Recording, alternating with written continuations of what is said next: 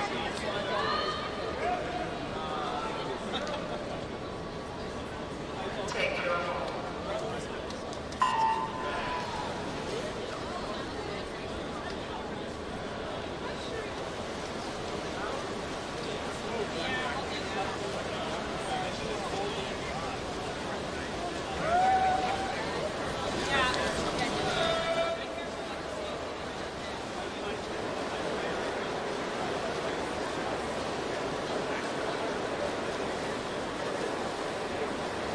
So Margalis this morning establishing a new meet record of 210.71. She has been as fast as 208.70.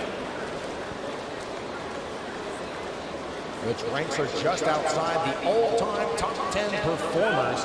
It takes a 208.32 to make that list. That time belongs to both Hui Hui of People's Republic of China and Kathleen Baker of the United States.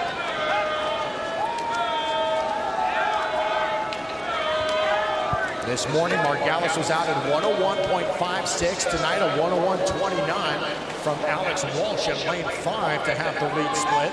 Margalis 102.4 and Torri Huske at 101.7.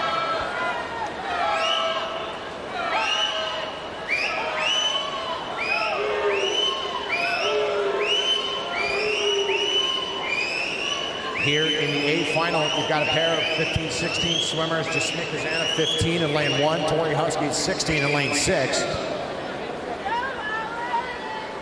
We need Coach Courtney Sheely Hart to the awards area, please.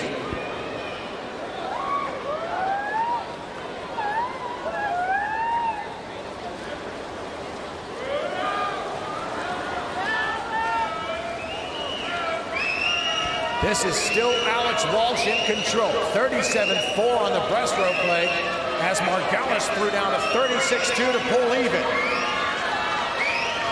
And now Margalis has got the legs to finish this race.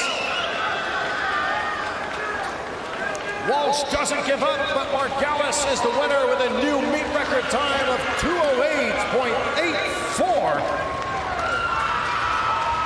Just off a best time for Margalis.